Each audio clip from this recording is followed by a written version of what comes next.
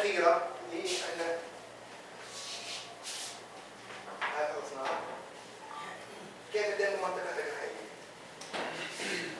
أدوات التجربة كثير بس.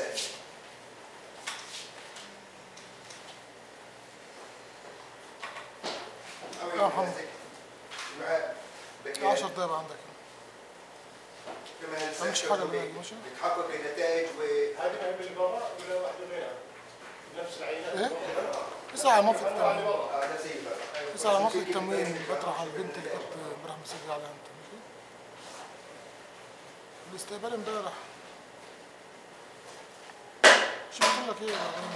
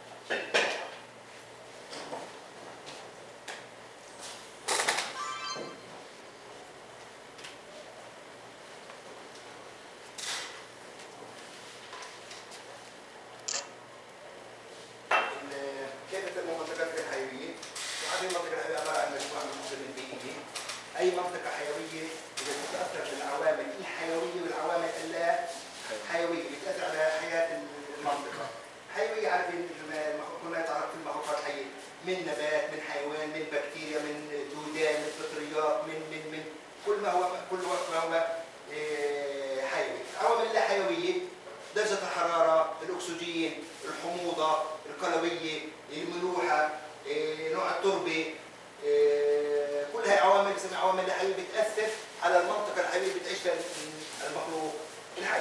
إحنا هون صممنا تجربة عملنا منطقة حيوية، عملنا منطقة حيوية حطينا وفرنا فيها معظم العوامل اللا حيوية.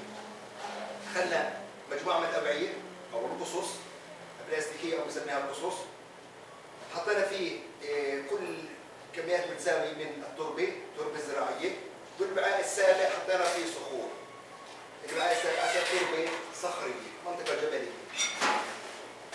في هذا ال- الوعاء هذا الوعاء بنحط بنحطه في غطاء بلاستيكي بنعمل كده بنحطه في غطاء بلاستيكي الوعاء الثاني بايكربونات الصوديوم الوعاء الثالث ماء زمزم.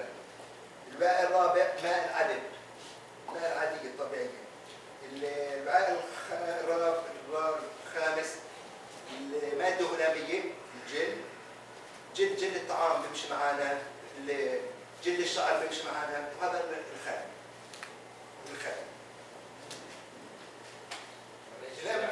إعادة البداية الأول إيه، لل- لكن المتغيرات أيوه ماء زمزم ماء زمزم أيوه ماء عذب بايكربونات آه، خل حامض الخل مادة هلامية صخور غطاء بلاستيك الآن نأخذ هون كمان احتمال الخاطئ اللي كسر نأخذ الحلبة. الحلبة بتعرفوا الحلبة ننقعها قبل بيومين ثلاثة. نأخذ كمية من الحلبة ننقعها في الماء قبل يومين ثلاثة ماء عادية ماء ماء بارد يعني مش مش ماء ساخن قبل نقتل ال- الأجنة مش نقتل الجنين فماء ماء ع- عادية. إيه، ناخذ تقريبا قدر من العقار. هون طبعا كمان الاحتمال الخطأ اللي هو هل البذور اللي هون كلها حية؟ هل كمية البذور على البذور اللي عندي الآن هنا أنا تقدير تقدير تقدير. حتى لو حتى لو بذرت الخطأ وارد. لا أنا مش ما بعرف شو جوا البذرة هل حية ولا مش حية. احتمال هون قصة ال- كمية البذور هذا احتمال باكن حيوية أو نمو. ال- النباتات فالآن ناخذ تقريبا آه، ملعقة صغيرة لكل عينة ناخذ نحاول نوزع قدر الإمكان يكون عندنا نغطي كل ال- المساحة.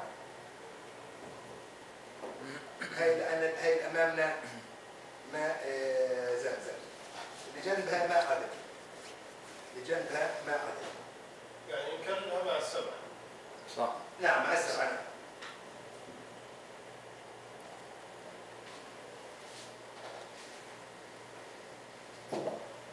هاي محل بايكربونات طبعا عندنا هون إحنا عندنا عملنا عدة عوامل لا حيوية.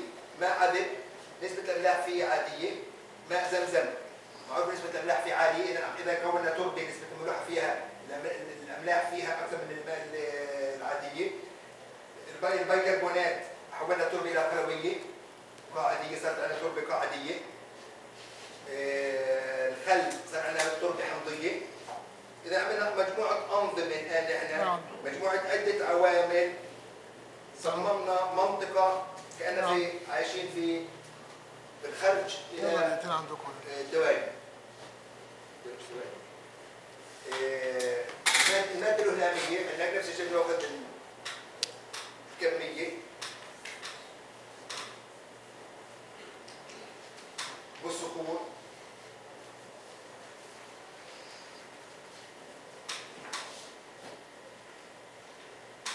آه، اللي في نقطة أنا نسيت لكم عنها إذا كان عندنا أنبوب بلاستيكي يفضل تثقيبه ثقوب يعني نضربه كم فتحة من تحت في ال- تهوية. تهوية نعم. إذا كان القصيص فقار أصلا هو برشح برشح أصلا من القاعة نفسيا من هذا. بس إذا كان البو مثل هيك بلاستيكي آه، لازم نعمل له تهوية من آه، نثقبه من تحت الآن حطينا مثلا بذور كميات متساوية الآن يجي على العين الأولى ماء زمزم ماء زمزم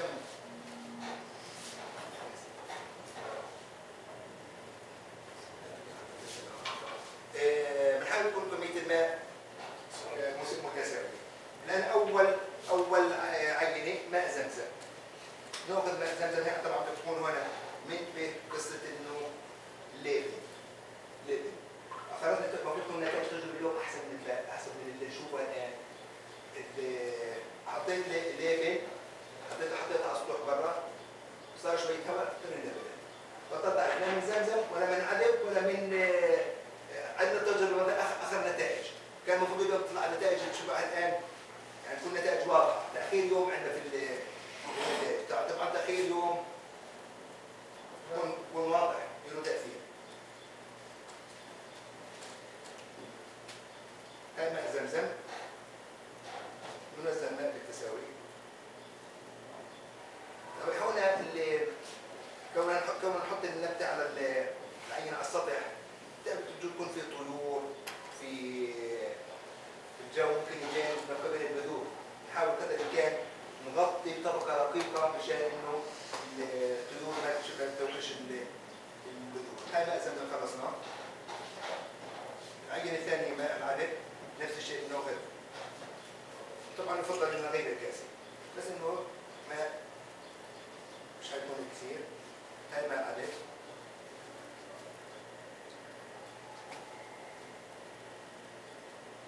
هنا وحدنا كمية الماء صح ولا لا؟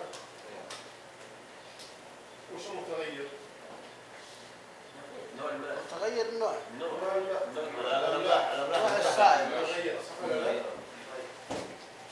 باكرات يعني ممكن تاخذ ماء وماء تضع فيه انت 10 ملاعق وماء عادي وماء تحليل ها؟ يعني اذا اردت انك تستوعب ماء زمزم بس الهدف من التجربه انت عايز تعمل إيش؟ يعني انت عايز تكشف عن إيش؟ عن تأثير الأملاح على نمو النبات ولا نعم. شو شو يعني العوامل اللاحيوية اللي بتأثر العوامل على على على نمو النباتات حدد العامل اللاحي وايش هو؟ الآن أنت حددت عامل معين. أنا أنا عامل معين. عادل أنا شو تجربتي؟ أنا شو تجربتي؟ منطقة ما قلتش جماعة أنا منطقه المنطقة اللي هي بدي اكون عندي أكثر من نظام أكثر من عامل أكثر من عامل مجموعه تنظيمه بيئيه بتشترك في مناخ معين نعم أنا أنا الان عملت أنا كاني أنا أنا الان عايش في لبنان صخور تمام وعايش في ال- في- في مكه على أساس انه بتقول أنا بيبدا تحرر الماء زمزم من هون ترشح لمي زمزم من هون وهون فلما ترشح مي زمزم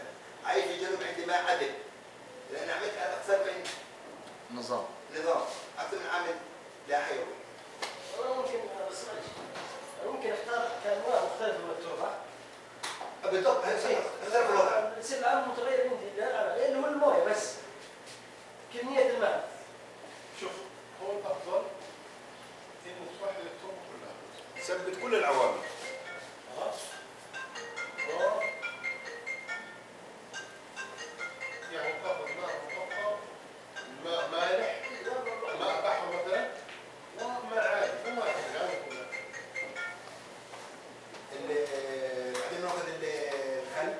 بصير عندنا تربة حمضيه الآن. هي الآن صار عندنا تربة قاعديه الان بصير عندنا تربة حمضيه حمضيه معمول ال- الخل؟ في خل أسود. خل أسود صناعي يكون أ- أفضل من اللون الأبيض. حتى على التربة بتوحد انه حيكون واضح التغير في لون التربة. نحاول نوزع الماء بالتساوي على جميع ال- الوعاء ال- الوعاء الخامس مادة غلامية ممكن تاخذ آه، جلد شعر جلد طعام بناكله بنحاول نغطي طبعا الآن نحاول نعمل عملية تغطية كاملة للتربة شو عملنا الآن طب يا أخوان الجلد الآن شو مشان الهلام شو عمل لنا هذا الهلام الهلام شو عمل لنا طبق طبق غطى غطى غطى التربة شو يعني يكفي في واحد هم عارفين عشان ما نختلف عليكم اي ما ما نستعرف عليكم يكفي واحد انه عارفين أنتم الان التغطيه ليش؟ شو الهدف منها؟ ها؟ وليش اخذت كبر الجلد؟ من يقول شو السبب؟ ليش ما فيها اخترت؟ ها؟ من هذا اخترنا الجلد ليش ما اخترت شيء ثاني؟ ليش ما جبت الجار؟ غطيته بالجار؟ ليش ما جبت قسطير؟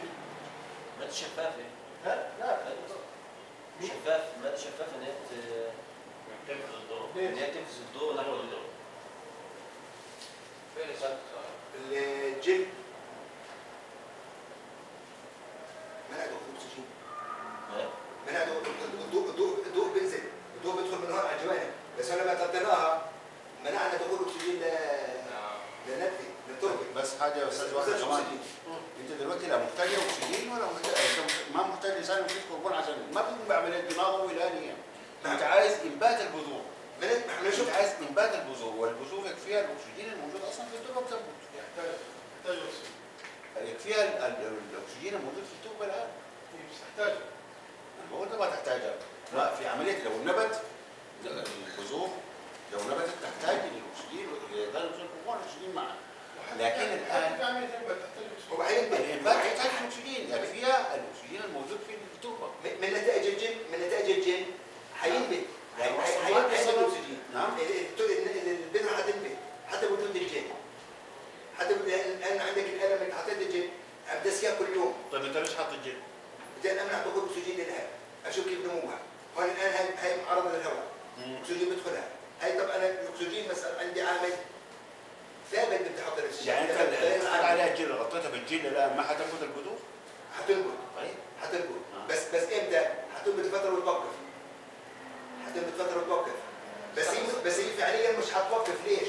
لأنه أنا كل يوم بسقيها الجلد مع الأيام حيذوب حيضل في تنفيذ ليش؟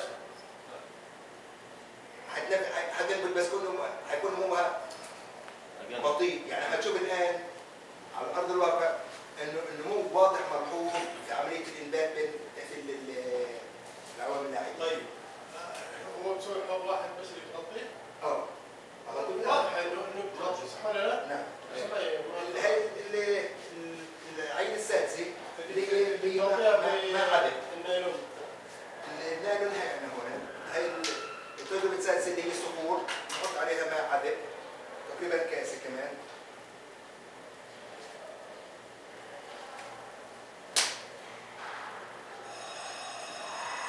طب شو رايكم هون هتنبتوا مش هتنبتوا؟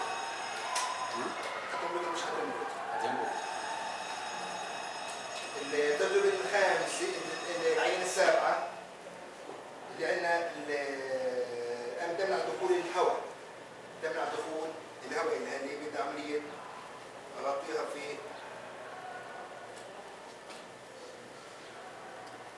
كيس بلاستيكي